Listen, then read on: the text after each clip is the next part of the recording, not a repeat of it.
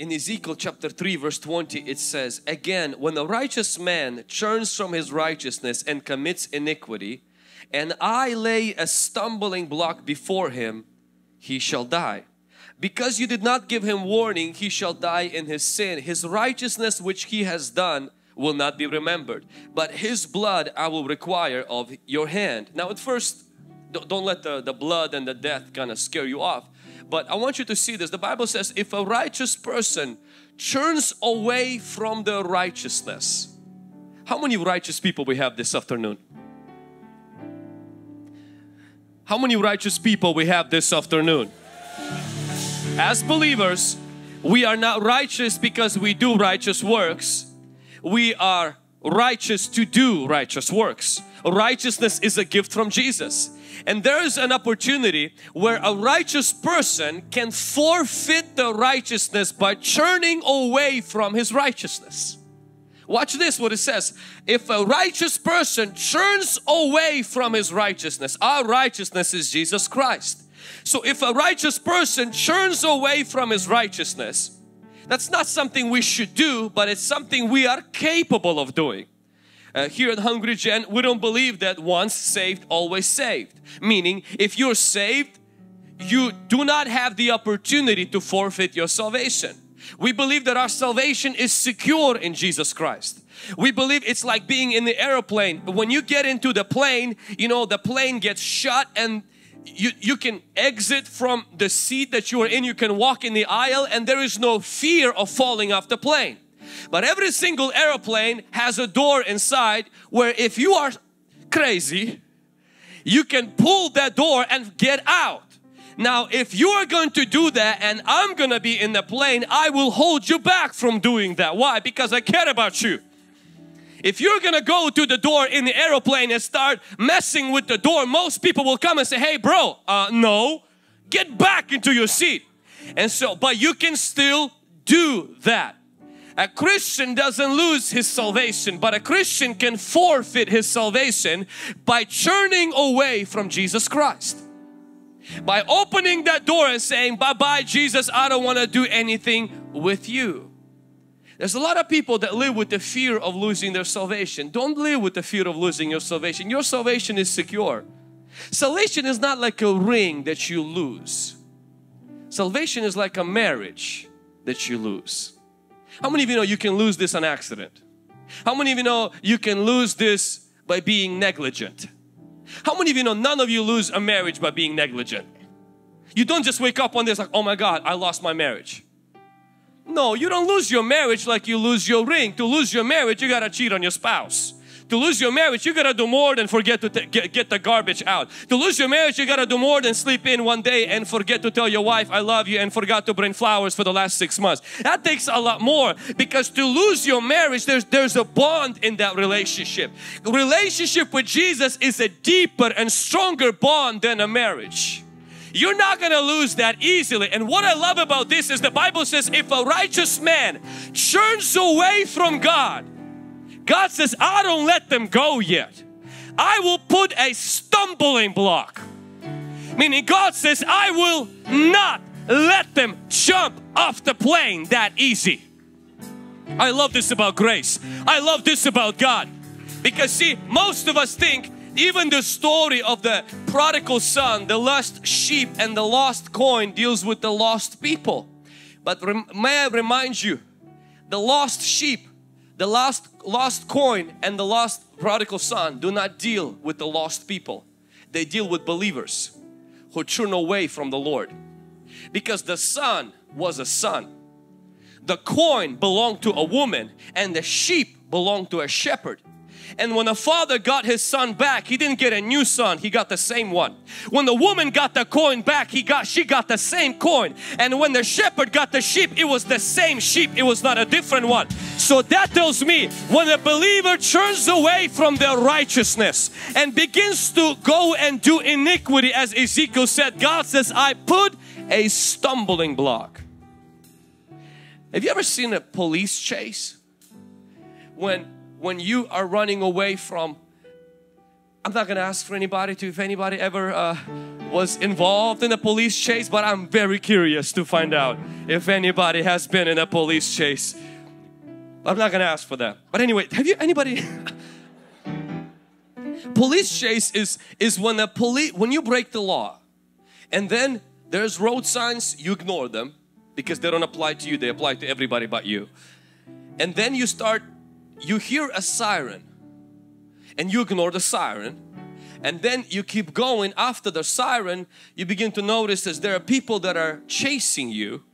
Now they're going after you and then there comes this point a lot of times there are speed bumps that you go through really fast and the police uses these spikes um, stripe spikes where they would throw on the road so that they can puncture your tires to slow you down and uh, there's a little video uh, behind uh, behind me if you can play the where even uh, there are people who are so stubborn that even if you put uh, spikes in the road and you puncture their tires they will still keep driving. No no no not, not this one. That's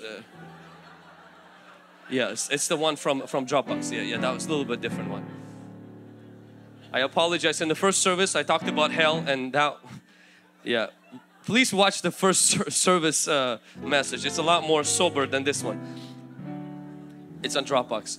Um, and so the police would put spikes that they would puncture your tires and after your tires are punctured and I watched this, these videos this week where people would still drive and car would come to a stop the car cannot go anymore the tires cannot go anymore and the people would still run out of the car and run and of course they will you know send dogs and and then the uh, these particular group of people that I watched on the on the YouTube clip is that they would come and would get arrested.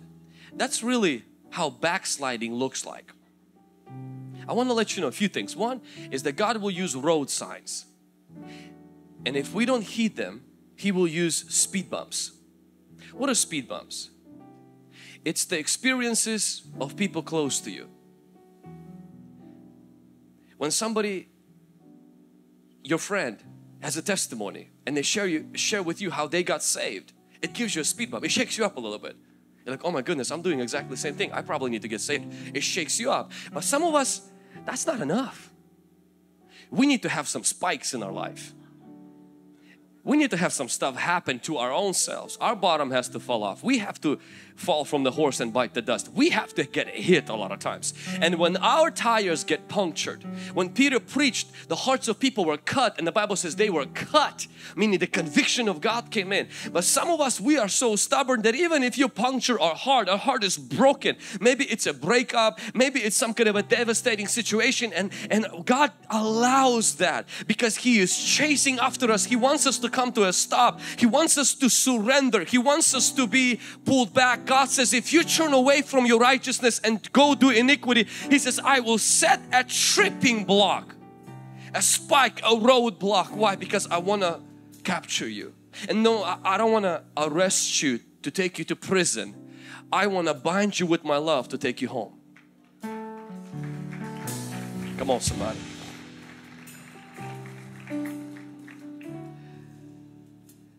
In Hosea 3 verse 1 it says then the Lord said to me Go again, love a woman who is loved by a lover and is committing adultery. So this is relationship is broken. This woman, she didn't just go out and have fun with her friends. This woman did not just forget that she was married. She went and she was loved by a lover and is committing adultery. She broke her covenant. I've struggled a lot of times to understand fully what is God's response to a believer who walks away from Him. You know, there are scriptures in the Bible everywhere where it talks about, you know, severity of God's judgment. But I want you to hear today something where God's love is not only for the lost, it's also for a backslider. Look what he said to this man. He says, go again. Love a woman who is loved by a lover and is committing adultery just like the love of the Lord for the children of Israel who look to other gods and love the raisin cakes of the pagans. God pursues with the passion of a lover the lifestyle of a felon. God pursues with an intensity of a police officer somebody who's running from him. God tells Hosea, your wife who legally, scripturally, you have to stone her according to the Old Testament. According to the New Testament, you have a free pass to walk away, wash your hands from that relationship and says, she was a prostitute before I met her. She went back to her old life and you know what? I'm just gonna go get inner healing, get me some therapy, sign up for prayer line, get delivered, give me a 6 to 12 months and then I'm gonna go Christian mingle, christiansingle.com and then I'm just gonna go find me a new wife. But God says to Hosea in the Old Testament, He says, I want you not only to go find her, rebuke her and tell tell her what she did wrong. He says, I want you to go. And this is the challenging part. Not just forgive her, not just accept her, not just bring her back and give her her room and her makeup table and her vanity table. He says, love her.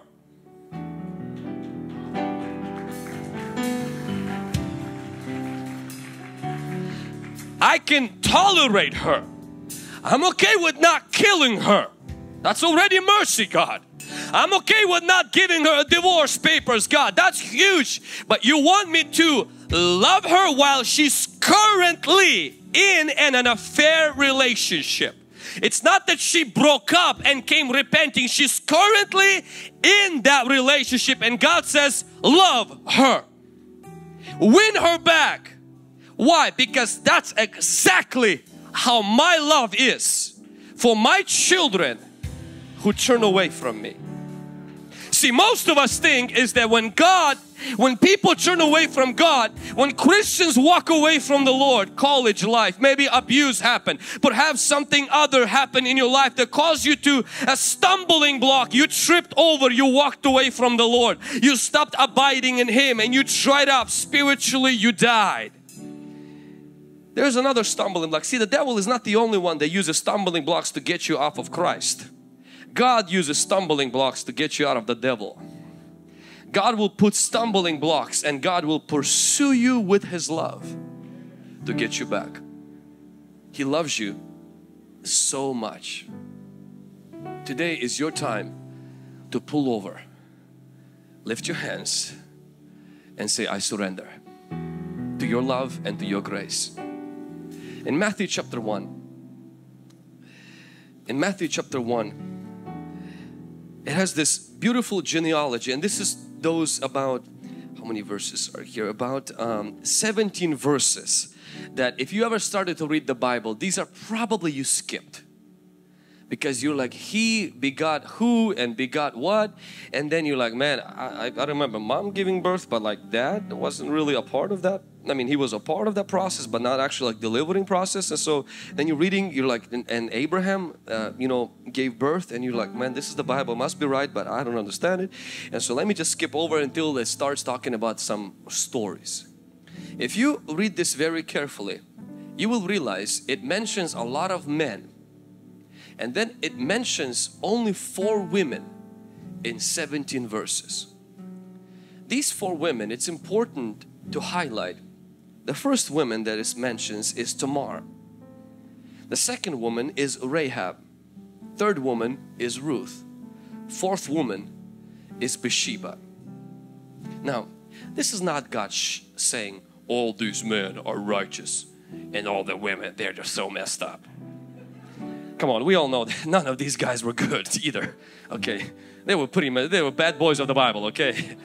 They were the bad boys of the Bible. All of them, from Abraham down to every one of these guys were bad boys. And it's not that there was no other good women, but I find it fascinating that God takes, honestly, the, the baddest women of the Old Testament. Scandalous women. Those kind of women that honestly, we would want to keep them away from a spotlight in the church we're like, please go serve somewhere where nobody knows you come to our church. These are those women, they were on the front page of their local newspapers. The scandals they were involved in is is nasty. Tamar slept with her father-in-law. That's, that's bad. Rahab was a sex worker. That was her nine to five. Ruth was a part of Moabites where, where they offered their children in fire toward their gods. She, she served, she lived in that part of the world. Her husband died and then she met Boaz. And Bathsheba, well we all know Bathsheba couldn't afford shower curtains. David could not keep his eyes focused on whatever that he was supposed to be doing and next thing that happens is that oops I'm pregnant. And then Bathsheba you know end up to be his wife and she, she was the, the lover. And so you look at these stories they're extremely these if you would write that's why I believe God wrote the Bible because if we would write the Bible we would hide them we would say these are things we don't want to talk about. Let's erase it. Where where is the eraser? Let's not mention these are not our most proud moments. God takes these four women and he puts them in genealogy of Christ. What am I talking today about? God's chasing you. God pursuing you. The felon the criminal the sexually immoral the person who crosses every boundary breaks every conviction that they subscribe to falls flat on their face morally. God not only finds them, God not only rescues them, God is not ashamed of them. God is not embarrassed to involve them, not scared to use them, and not intimidated to put them in the genealogy a holy Christ. And not ashamed to start the first chapter of his new covenant to show off and say these are the people my son came through. Few things I want you to remember. Number one every saint has a past. Every sinner has a future because of Jesus because of Jesus. No matter how deep you've fallen, no matter where you've fallen, no matter how scandalous your story is, no matter how the family, the media and others has spun that out, out of context or even if it's true, the birth of Jesus Christ, it starts from the beginning. God saying, the God taking scandalous, perversion, even sexual immorality, moral failure, God taking all of that and saying, not only I can redeem that, not only I can rescue you from that, I can restore you, use you and put you back on your feet. That's number one. Number two, Christ is better at saving you than you are at sinning.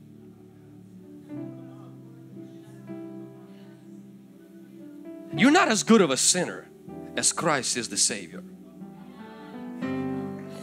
You're not that good. He is better at saving than you are at sinning. His grace is more powerful than sin. His blood is more powerful than the stain of sin. His holiness, His love, His grace, His death is way more powerful he conquered death. What is your sin? He defied death. No emperor could ever do that. Alexander the Great couldn't do that. No dictator. No wise man. Solomon couldn't do that. Nobody could conquer death. Death leveled every great general, every great adventurer, it leveled them all equal except Christ. He conquered death. Therefore, your sin is no match to Him. Even the sin of murder, even the sin of abortion, even the sin that you've done everything to earn your penance and it still doesn't remove your memory and it still torments you and it still reminds you that you are no good, that you are worthless. I'm going to tell you something. There is someone who is better at saving you than you are at damning you. Does somebody say amen?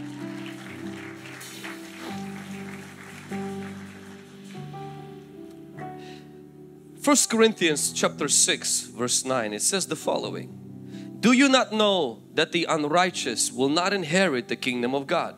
Do not be deceived neither fornicators, nor idolaters, nor adulterers, nor homosexuals, nor, Sodomite, nor sodomites, nor thieves, nor covetous, nor drunkards, nor revilers, nor extortioners will inherit the kingdom of God. And such were some of you.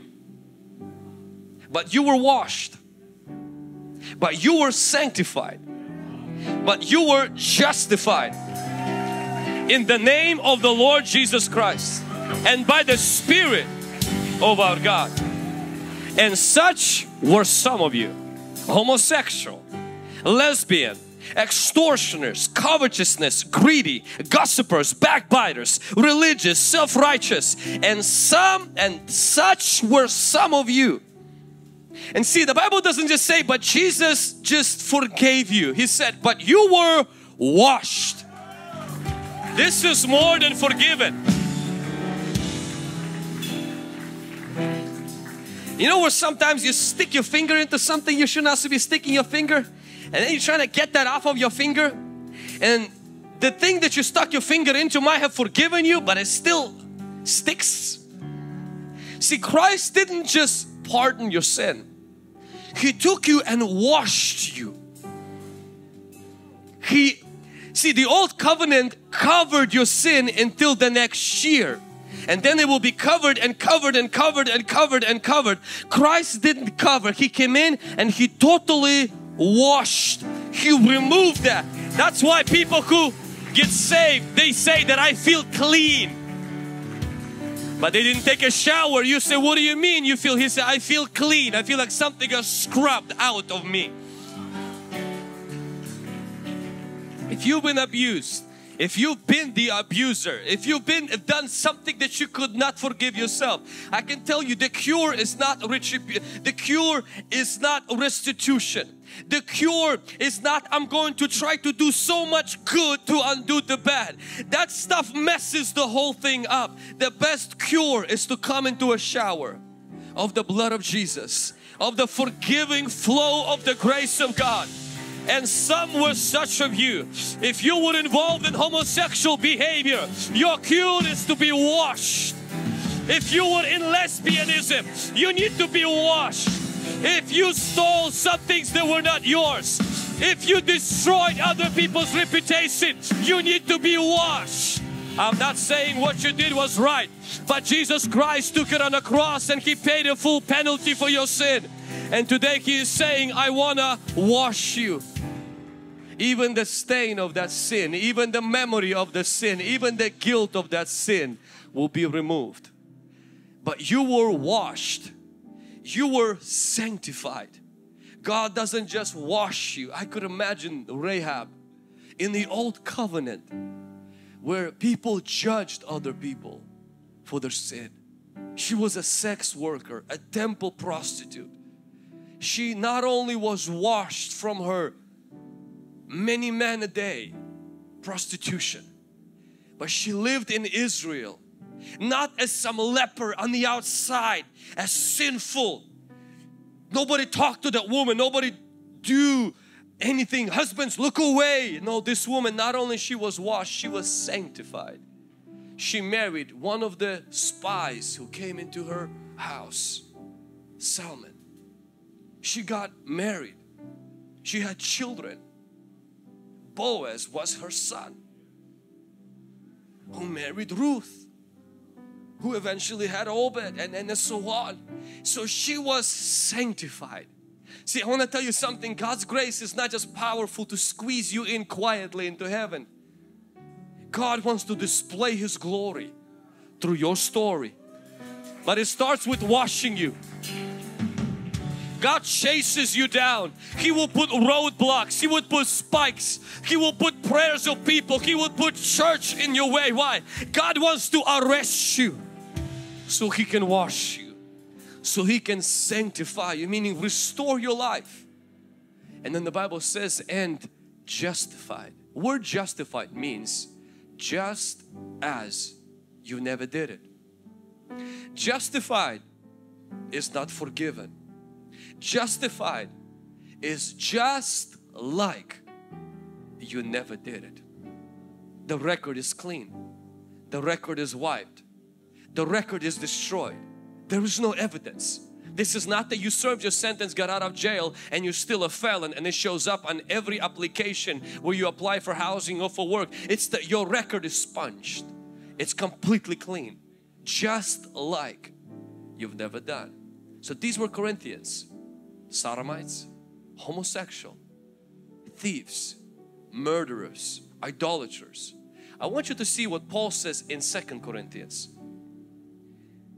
Second Corinthians 11 2 he says I am jealous for you with godly jealousy for I have betrothed you to the one husband that I may present you a chaste virgin to Christ. How can you be a virgin to Christ if you were a sodomite, a homosexual, a thief, idolater, a gossiper? See, in the first Corinthians, Paul says, and such were some of you. And he says, but you were washed, you were sanctified, and you were justified. In the second Corinthians, he no longer talks about sodomites, homosexuals, adulterers. He's talking about a chaste virgin. So not only Jesus restores my life, He redeems my innocence. There's some of you in here today, you lost your virginity. You lost your purity and you feel like you are second best or maybe you feel like man but I'm I'm just a wasted person who just been loved by God saved by grace my friend oh no no no no no you were washed you were sanctified and you were justified and God is presenting you as a chaste virgin God is restoring your innocence. He is restoring your righteousness. He is restoring your purity. That grace is a good grace. It's a mighty grace. It's the glory of grace. And it's a grace worth shouting about. Grace worth giving God praise about. Grace worth giving God glory about. Somebody give God some praise.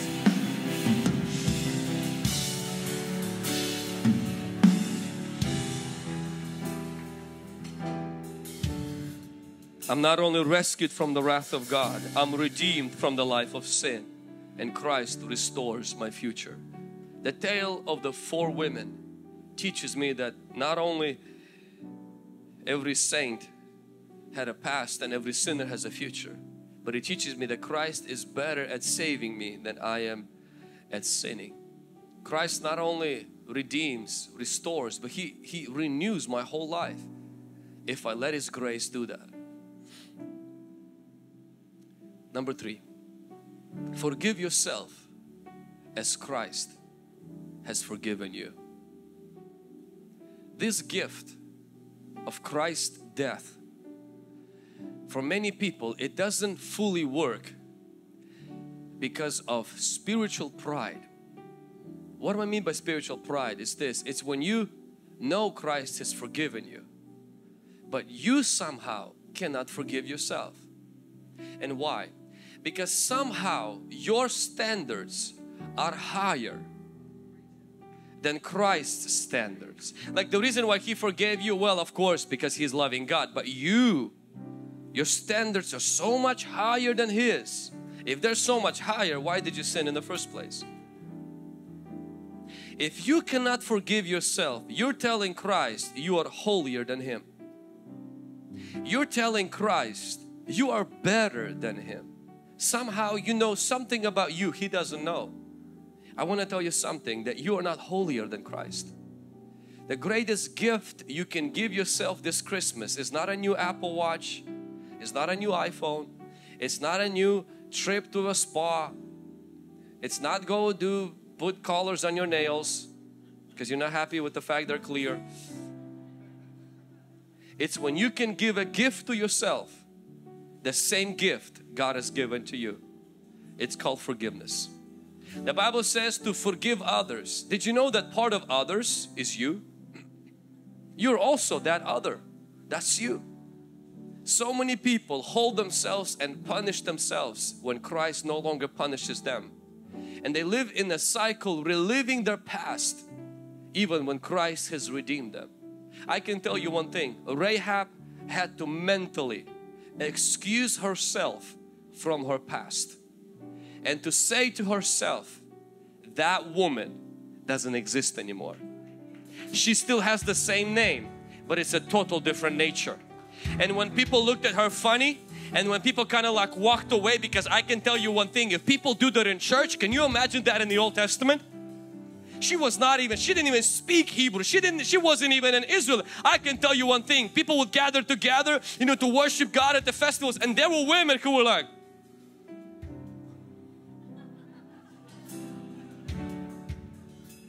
And I'm pretty sure Rahab had to tell herself, that's not who I am. You can look at me like that. You can give me those looks, but I'm not giving myself those looks.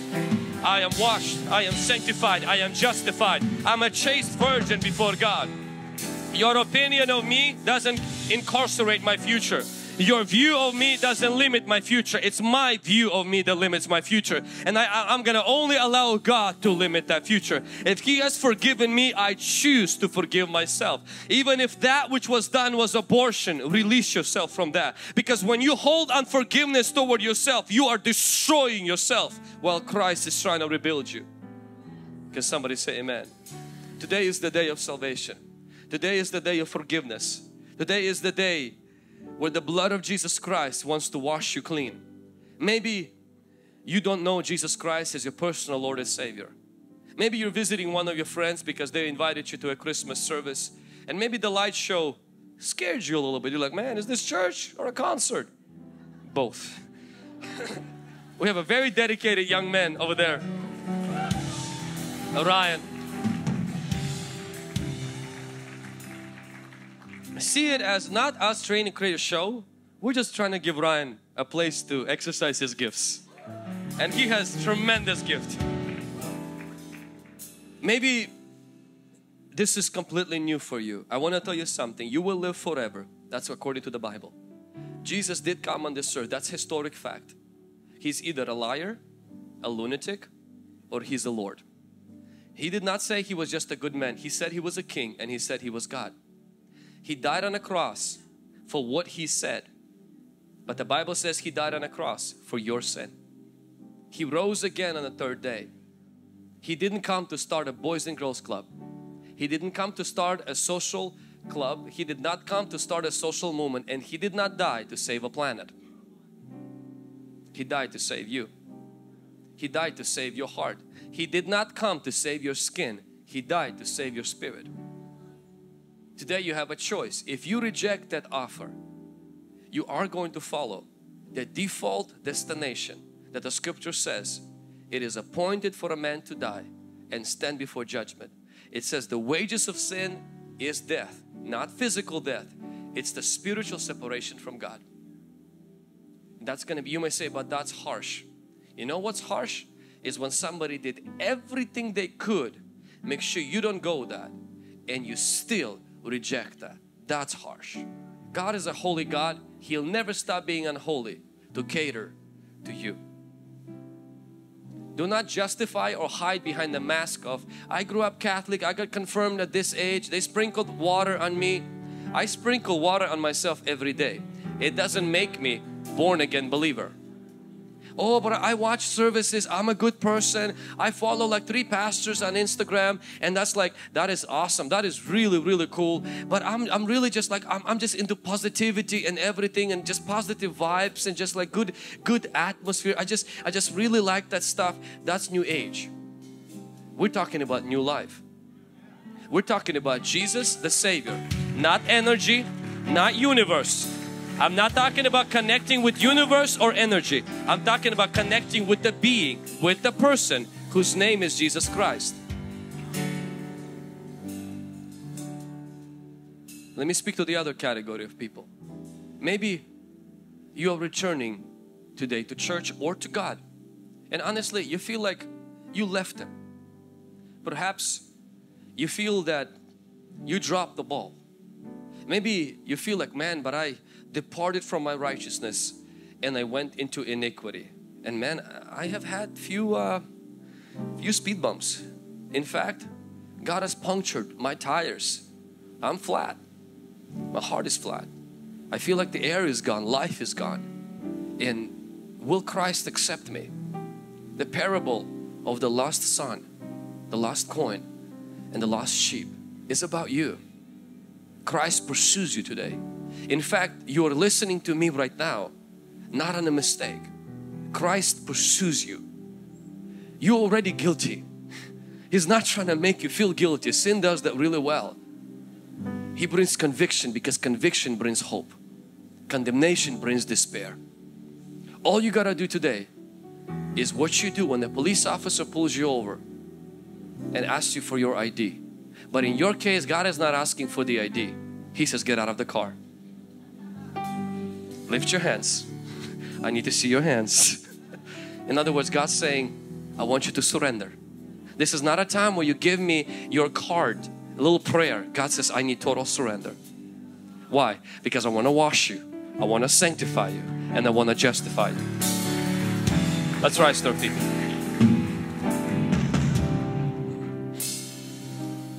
As the worship team is going to sing a song, I would like to invite people in both of the categories today. If you are in the category where you don't know Jesus Christ as your personal Lord and Savior, I would like to give you the opportunity today to make Jesus the Lord of your, your, Lord of your life. If you're in a category today where you backslid, you walked away from relationship with God. I'm not talking about the church. I'm talking about you walked away from relationship with God. Your heart is judging you today. Maybe there's a conviction, a punctured heart. There's a call for you. Jesus wants to bring you home today. Every head bowed and every eye closed. If you're watching me on live stream on Zoom or on YouTube, 175 of you that are watching right now, today is your day. Today, now is your time. If you're saying, I would like to get right with God, I would like to give my life to Jesus. I'm not there where I'm supposed to be. I feel like God is out to get me. He is actually, but not for the reason that you think He is. He has no pleasure in seeing your destruction. For He so loved you that He gave His Son. He doesn't warm His hands at your calamity. He came to save you, not to damn you, not to condemn you, not to push you down, but to lift you up. He didn't come to remind you of your past. He came to remind you of His Son, of His blood and of His sacrifice. If you're in this room or you're on live stream and you're in one of these two categories where you're saying, I'm far from Christ, or I've never made a decision to follow Christ. When I count to three, I'm going to ask you to raise your hand high as your sign of saying, Lord, I surrender. I surrender to your love. I surrender to your grace. I need your salvation today. I don't want to keep running away from you, God. I want to run with you. One, two, three. Just raise that head high. Thank you. I see hands going all over this room. Thank you. Thank you. Thank you. Thank you. Thank you. I see hands going all over this room. Thank you. I'm going to ask you to do something bold right now. For those of you who lifted your hand or who wanted to lift your hand, but you just didn't find the courage to do so. When the team will sing, I'm going to ask you to come out of your seat and stand here with me. I want to pray with you. You can just begin to make your way out of your seat as the team begins to sing. You can come with your friend, come with your family member. Just come. Just come. Come on. Come on. Come on, church. We can applaud them. This is the best decision that people make. Is to give their life to Christ. Is to run to Christ instead of running from God. Come on. Come on. Come on. Come on. If you can do the grace, beautiful grace. Grace, beautiful grace. Yes, Lord. I'm going to wait for a few more moments.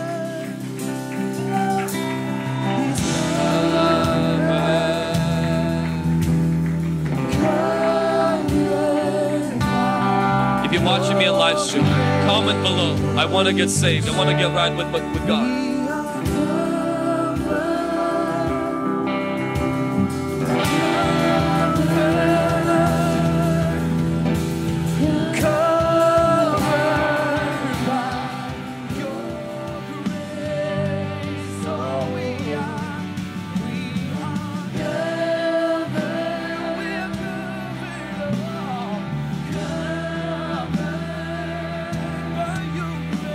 Of God is going to wash you right now. His blood is going to cleanse you right now. Just receive His grace. Just surrender to Him right now.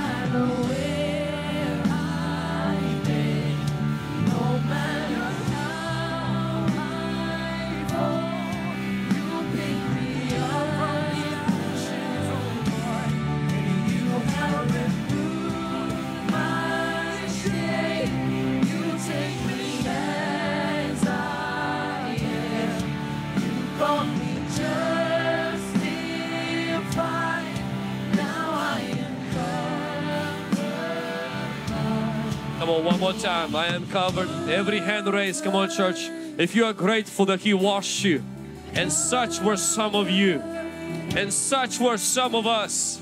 But it's been the grace of God. It was at this encounter at the altar. It was this encounter somewhere in your car, in somebody's house. That the blood of Jesus washed you. That His Spirit gave you new life. He revived you. He didn't give you religion, He gave you new heart. Give Him some praise right now. Give Him some worship right now. Lift up His name.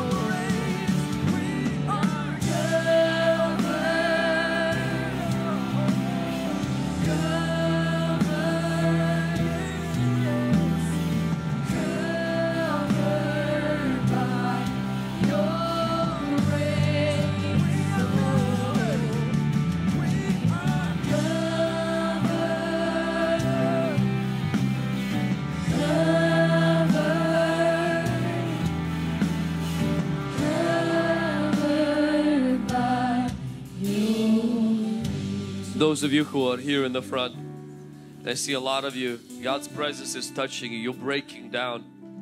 And it's the blood, it's the love of Jesus that is melting your heart. It's the love of Jesus that's taking away the stony heart, the religious heart, the self-righteous, maybe a sinful heart, a proud heart, and is giving you a heart of flesh. Right now I'm going to lead you in a prayer, but make no mistake, no prayer can save you. Only Jesus saves us. We believe with our heart and we confess with our mouth. If you're watching us on live stream, pray this prayer with me. Say this out loud with me. Say, Lord Jesus, I'm a sinner. Please forgive me of all my sin and wash me with your blood. Sanctify me, justify me, fill me with your spirit and use me for your glory. I surrender my whole life to you. From this day forward, I want to follow you. In Jesus' name, amen.